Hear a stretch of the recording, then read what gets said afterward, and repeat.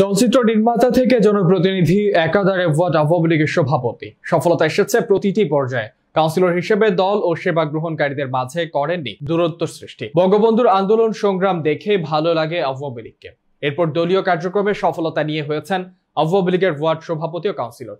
কোনো পদকেই দেখছেন না আলাদা করে। সিনেমা পাড়ার অশ্লীলতা প্রযোজনা থেকে দূরে ঠেলে দিলেও শেষ জীবনে চলচ্চিত্র পুরস্কার পাওয়া সম্ভব এমন একটি ছবি উপহার দিতে চান সিনেমা প্রেমীদের। বলছি, ঢাকা দক্ষিণ সিটি কর্পোরেশনের উনত্রিশ নম্বর ওয়ার্ড কাউন্সিলর ও আওয়ামী লীগের সভাপতি, প্রযোজক জাহাঙ্গীর আলম বাবুলের কথা। শফিকুল ইসলামের রিপোর্টে বিস্তারিত। ছোটবেলা থেকেই আমি নৌকার প্রতি আমার একটা ইয়ে ছিল, খেয়াল ছিল। সেখান থেকেই আমি বঙ্গবন্ধুর আদর্শ, বঙ্গবন্ধু সাতই মার্চের ভাষণকে দেখতে দেখতে আমি এই পর্যন্ত আসি। পরে উনিশশো একাশি সালে আমাদের মাননীয় প্রধানমন্ত্রী শেখ হাসিনা যখন দেশে আসেন, তার রাজনীতিকে ফলো করতে করতে আওয়ামী লীগের সাথে সম্পৃক্ত হই। হওয়ার পর থেকে আমি রাজনীতির সাথে সম্পৃক্ত।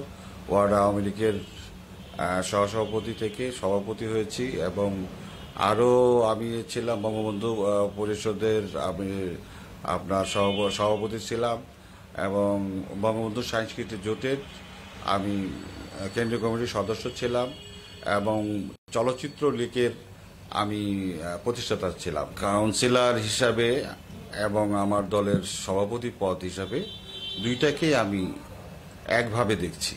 কারণ হলো, দুইটাই আমার। আমি কাউন্সিলর এবং আমি সভাপতি।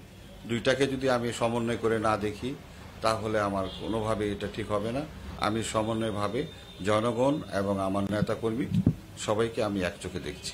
কালীন সময়ে আমি আমার মাননীয় প্রধানমন্ত্রী জননেত্রী শেখ হাসিনা আমাদেরকে যেতটুক মানুষের মাঝে খাদ্য বিতরণ করার জন্য যেটুকু খাদ্য আমাদেরকে দিয়েছেন, সেটা একশো চৌরাশি দিনের ভিতরে একশো আশি দিনই আমরা সেই খাদ্যটি আমরা বিতরণ করেছি এবং আমি কাউন্সিলর হিসাবে আমার ব্যক্তিগতভাবে আমি, আমার থেকেও আমি, আমার জনগণের মাঝে আমি আমি খাদ্য বিতরণ করেছি। এতে আমার এলাকার জনগণ পাশে আমি ছিলাম। এবং মাননীয় প্রধানমন্ত্রীর দিক যে দিক নির্দেশনা ছিল, সেই দিক নির্দেশ অনুযায়ী আমরা কাজ করেছি।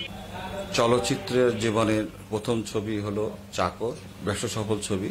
প্রচুর ব্যবসা করেছে প্রচুর সফলতা পেয়েছে। তারপরে ছিল আপনার ত্যাগ, সৎ মানুষ, প্রেমের অহংকার, শয়তান মানুষ শেষ ঠিকানা ধর, কথা দাও, লজ্জা এবং পাগলা ঘণ্টা। এগুলো ছবির ভিতরে সবচেয়ে ব্যা- ব্যবসা সফল ছবি হলো আমার চাকর, তারপরে হলো ত্যাগ ত্যাগ ছবি। এই চলচ্চিত্র আমি উনিশশো অষ্টআশি উনানব্বই থেকে দু হাজার পর্যন্ত আমি চলচ্চিত্রের সাথে সম্পৃক্ত ছিলাম।